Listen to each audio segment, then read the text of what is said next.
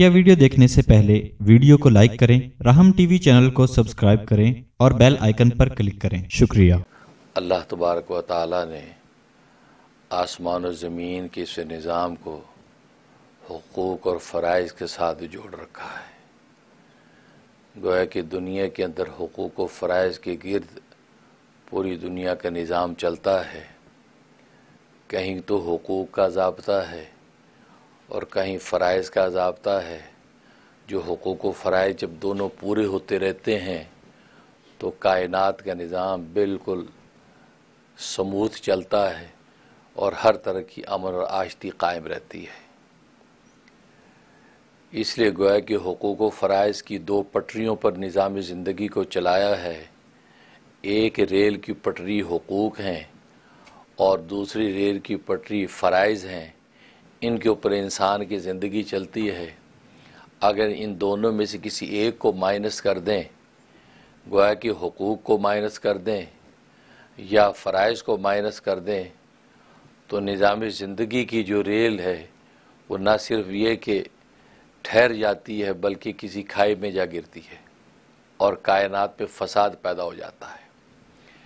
इसलिए आप देखते हैं कि इंसान की इनफरादी ज़िंदगी हो या इज्तमाही ज़िंदगी हो, या रियासती ज़िंदगी हो, या बैन अवी ज़िंदगी हो, दो ही चीज़ों पर गुफ्तु चलती रहती है, हकूक़ व फ़रज़ हमारे हकूक़ पूरे किए जाएँ।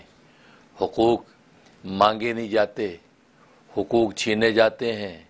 गोया कि इस तरह के नारे आप शब व रोज़ सुनते हैं। गोया के राइट्स जिसको आज की ज़बान पे कहते हैं, राइट्स की जंग है कि हमारे rights human rights, animal rights, गोया कि हर बंदे के राइट्स की सारी की सारी बहस चलती है। तो गोया कि निज़ाम ज़िंदगी हकूक़ व फ़रज़ के इर्द गिर्द चलता है। और मज़े की बात यह है कि हकूक़ व फ़रज़ के इस मफहम में बज़ाहिर दो लफ्ज़ हैं। एक हकूक़ का लफ्ज़ है और दूसरा फ़रज़ का लफ्ज़ है। लेकिन हकीकत में ये एक ही है। यानी अगर इनमें से फ़रज़ अगर पूरे होते रहें तो सामने वाले के हकूक़ आटोमेटिकली पूरे होते रहते हैं। गोया कि बात, गोया के फ़रज़ पर जाकर ख़त्म होती है। जिस इंसान के कंधों पर जो फ़रज़ अल्लाह तबारक व ताली ने आयद कर रखे हैं, बस वो उन फ़रज़ को दयानतदारी के साथ अदा करता रहे तो सामने वाले के हकूक़ आटोमेटिकली अदा हो जाते हैं। गोया कि हकूक़ की बहस करने की ज़रूरत ही पेश नहीं आती। असल बहस फ़रज़ की है।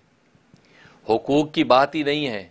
हाँ अगर फ़रज़ पूरे होते रहें तो सामने वाले के हकूक़ खुद ब खुद पूरे होते रहेंगे। मसलन एक उस्ताद है।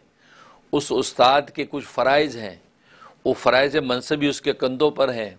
अगर ये दयानतदारी के साथ अपने फ़राइज़ को अंजाम देता रहता है तो शागिर्द के हकूक़ ऑटोमेटिकली अदा होते रहते हैं। शागिर्द के कंधों पर जो फ़राइज़ हैं उस्ताद के हवाले से, शागिर्द अगर दयानतदारी से उन फ़राइज़ को अदा करता रहता है तो उस्ताद के जो हकूक़ ऑटोमेटिकली अदा होते रहते हैं।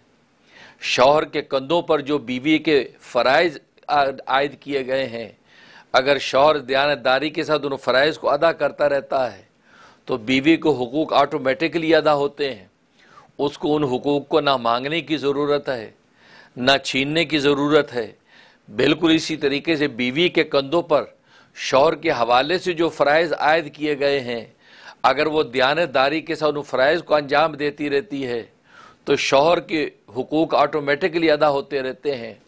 बादशाह के कंधों पर जो रियाया के फ़रज़ हैं, उन फ़रज़ को दयानतदारी से अदा करता रहे तो रियाया के हकूक़ ऑटोमेटिकली अदा होते रहते हैं।